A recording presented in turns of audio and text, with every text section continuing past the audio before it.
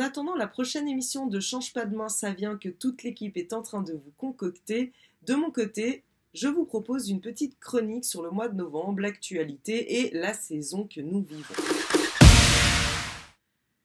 Ah, enfin, la fin de cette année 2020 approche. Est revenu le temps de retrouver le rythme des pieds emprisonnés dans nos chaussures fermées et pour rester au chaud, pull les pantalons, manteaux et vestons, gaines et petites laines, nos barbecues et maillots de bain ont bien de la peine. Précipitations et déluge d'automne, le ciel tonne et les nuages nous grugent. Le froid s'invite et infiltre nos intérieurs. L'univers aussi a ses humeurs. Mais cunini, il fait encore beau, il fait encore chaud. Les corps peuvent se dorer la pilule. Les fondus en terrasse pullulent, enfin, euh, ont pullulé, ont, ont commencé à pulluler, bon, ont tenté de pulluler jusqu'à l'arrivée du Covid, de la Covid, pardon, parce que même si c'est un virus, ça reste féminin, voilà. Ah là là, Covid ici, Covid partout. Elle nous a muselé les naseaux et moi je vous le dis, elle va nous pousser à bout. À force de défoncer le système socio-médical, on perd tous les moyens de réponse nécessaires et adéquats. Et c'est pas les banques qui nous garantissent les soins. Toi, toi. Ouais, non, mais je suis trop à bout. Je suis tellement à bout que moi qui ai toujours été peu fervente en maths, me voilà prête à vous faire une récitation de chiffres. Vous êtes prêts? À Genève, ville d'environ 499 480 habitants. On compte un total de 379 décès à la date du 11 novembre, le jour où je rectifie cette chronique pour la mettre à jour. Ce même 11 novembre, au HUG, il y a 585 hospitalisations Covid-19 actives en cours, dont 28 aux soins intensifs. C'est ça la deuxième vague? Enfin, les vagues? Enfin, le, le la, la pandémie Bon, d'accord. Non, parce que je, me dis, qu'est-ce qu'on fait des autres vagues, tu vois, des autres marées, euh, des, tsunamis? Comme par exemple celui du cancer, qui affecte environ 41 euh, 700 personnes en plus chaque année en Suisse. Bon, en Suisse, c'est un pays de 8,57 millions d'habitants. Il y a eu 2 287 029 tests Covid. Il y a eu 235 020 cas 122 600 guérisons et 2683 décès. Mais on ne sait pas trop si les tests sont positifs ou positifs actifs, et on ignore également pour certains cas s'il y a eu hospitalisation ou non.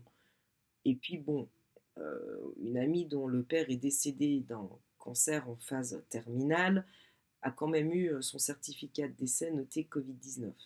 C'est un peu questionnant. 2683 morts en Suisse dû au Covid. C'est le pic tant attendu. La vague tant redoutée qui pointait son écume. C'est questionnant.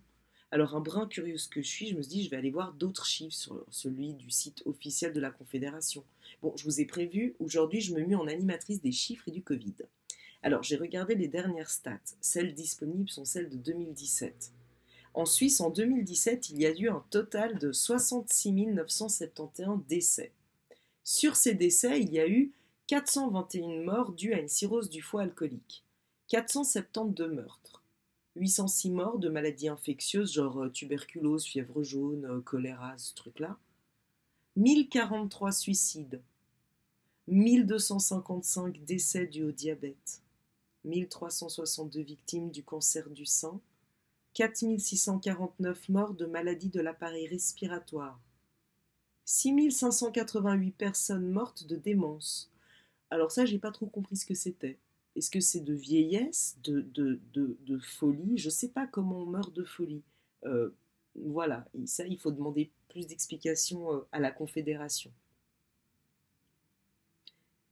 15 933 morts suite à des cancers divers, à part celui du sein. 21 042 décès suite à une maladie cardiovasculaire. Puis après, je me suis dit, tiens, je vais aller regarder dans le monde. Alors, dans le monde, depuis le mois de janvier 2020, on compte 1 275 124 décès dus au Covid-19. Et puis, on compte environ 18 millions de personnes qui reçoivent un diagnostic de cancer, dont 9 millions en sont morts. On compte aussi 7 888 496 humains qui sont morts de faim. Alors où sont les mesures et les gestes barrières anti-famine? Bon, ah, tout cela bout dans mon cerveau. Et puis, je me dis que oh, oh, oh, Si les États, l'OMS et nos petits lobbies de la santé se préoccupaient avec primauté des peuples pour les protéger et garantir leur santé, en vrai, ils ordonneraient l'arrêt de la production de cigarettes et de tabac. Ils mettraient une salle de sport euh, libre accès gratuit dans chaque quartier. Ils prendraient des mesures concrètes contre la pollution et pour le reverdissement de nos villes. Ils cesseraient de faire des coupes budgétaires dans l'éducation et puis dans le socio-médical. Ils cesseraient peut-être de nous prendre pour des quiches en tentant de nous faire croire au capitalisme vert et à la recroissance. Sérieusement, c'est questionnant. Comment peut-on croître en détruisant l'environnement? Le capitalisme vert, c'est comme parler de pollution nettoyante, de, tabagisme sain, de nucléaire récréatif, de licenciement sympathique, de porno religieux, de foot pour cul de meringue sans sucre, de bistrot sans poivreau, de malou muette. Ça n'existe pas. C'est une arnaque linguistique. Enfin bon, ah, c'est vrai qu'après des mois au ralenti pour une partie de la patrie, des mois d'annulation en fermeture de soirées et de spectacles, des semaines d'échauffement et de muselage de visage, après avoir été à l'isolement social, à la merci de la phobie collective et d'amendes salées pour apéro en parc public, après avoir eu aussi sa part de bon, la diminution de bouchons sur les routes, le soutien massif aux coopératives et aux agriculteurs locaux, après avoir eu une décélération du temps, c'est dur de revenir à une anormale normalité à renormer. Et vous en faites pas, ça n'a que trop duré. Alors ok, ok pour le retour à l'emploi, retour à la subordination à plein temps, retour à la production active, retour à la fièvre acheteuse. Mais pour le loisir, les rires partagés, les épauler entre potes, il est primordial de respecter le nombre décrété par le Conseil fédéral. Et puis sans râler, hein. Alors dis donc. Non, parce que déjà qu'on nous accorde le droit de garder nos emplois et nos salaires, alors faudrait quand même pas trop la ramener et récolter la misère, parce que c'est de notre faute, visiblement. C'est de votre faute, et de la nôtre, et de la mienne. Mmh, c'est de notre faute. Il paraît, il paraît que le virus pris dans une micro-gouttelette, expulsé lors d'un éternuement, reste en suspension dans l'air pendant 17 minutes. Il nous faut prendre en compte qu'un hatchoum atteint environ 16 km par heure, soit 4,5 mètres par seconde. Selon les individus, il peut atteindre une vitesse très très rare de 50 km/h, projetant ainsi son fluide mucosalivaire sur une distance d'environ 9 mètres. Notre fluide corporel rempli de Covid, par exemple, émerge donc de la fosse nasale en nappe, puis il se casse en formant des cercles, ils s'étirant à leur tour en filaments dont naîtront les gouttes, qui se fragmentent en milliers de gouttelettes qui virevoltent dans l'air ambiant, balancées au gré du vent. Alors personne n'est à l'abri, qu'on se le dise. Personne n'est à l'abri. L'unique certitude, c'est qu'on va tous mourir. À choisir comment, ben j'ignore si on en aura le temps. L'unique certitude, c'est qu'on va tous mourir. Alors du Covid, du Roundup dans les tampons, des nouveaux cancers euh, dont les traitements te coûteront encore plus cher que tes propres dents, de sécheresse du cœur due à l'enracinement à nos écrans, de famine à force de rendre infertiles les terres, de guerre de cons à vouloir dominer la raison.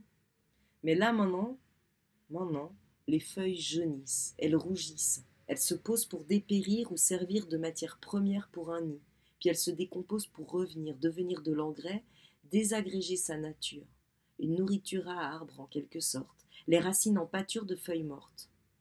Je suis rassurée. Je suis rassurée car un jour la nature nous rendra ce qu'on lui a infligé.